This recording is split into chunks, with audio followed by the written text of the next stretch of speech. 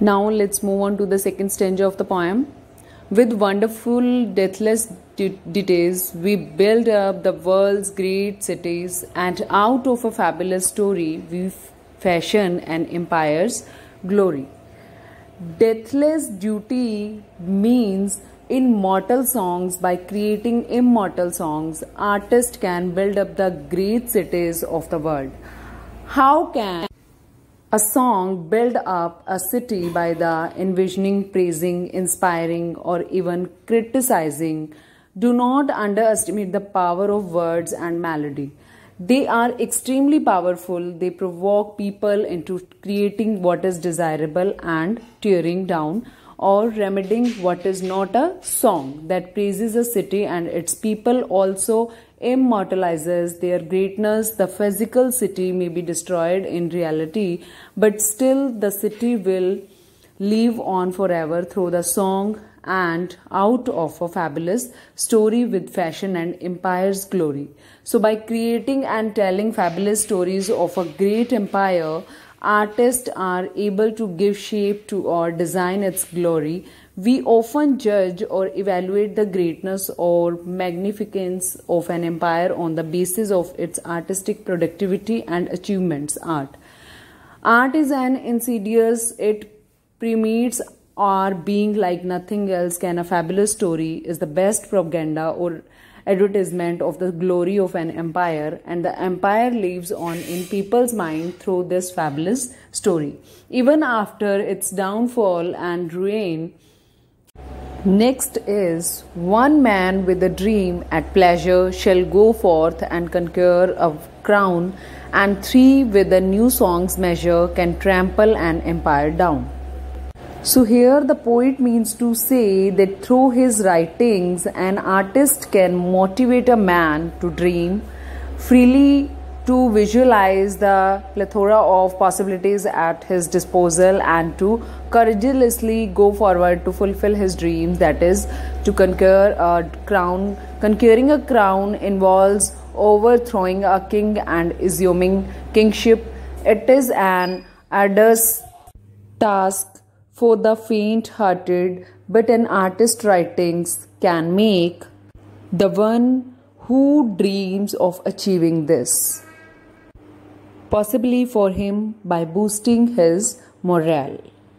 The crown here of refers to an extraordinary achievement to achieve something extraordinary, one needs tremendous courage and perseverance and the will to surmount all obstacles. And three, with the new songs, measure can trample an empire down at the same time. A long song can inspire people to come together and cause a revolution in order to bring about the downfall of an empire, that is, to crush it underfoot thus art enables the achievement of goal as well as the implementation or execution of the much needed curative measure for the welfare of society now moving on to the last but not the least danger. we in the ages lying in the buried past of the earth built Nineveh with our sighing and Babel itself with our mirth. So, here the poet is saying artists have always been at work inspiring society and bringing about change even in the years gone by that is the past ages the evidences of which are now buried in the earth. These evidences are the biblical city of the Nineveh and the Tower of Babel, the magnificent city of Nineveh which is now lying in ruins, was built out of the sighing of artists and the torture that the slave or artisans have to undergo in order to build the city. On the other hand, the Tower of Babel was built with the spirit of joy when the people of Babel decided to build a tower that would touch heaven.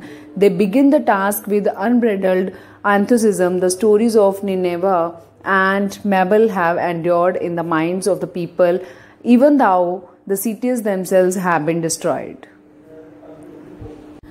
Now, the next is, and overthrew them with prophesying to the old of the new world's worth, for each age is a dream that is dying or one that is coming to birth.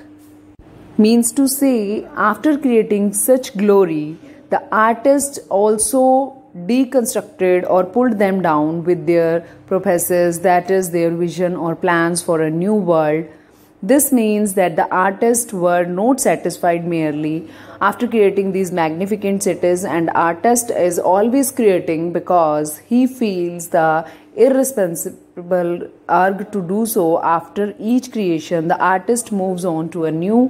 One art is undoubtedly immortal and lives on in all its glory.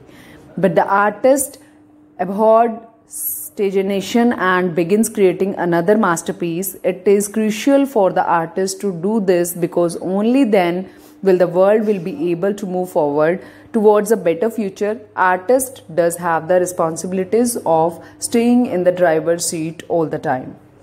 For each age is a dream that is dying, time never stands still, and artists recognize this what the common man thinks to be true and permanent is seen only by the artist.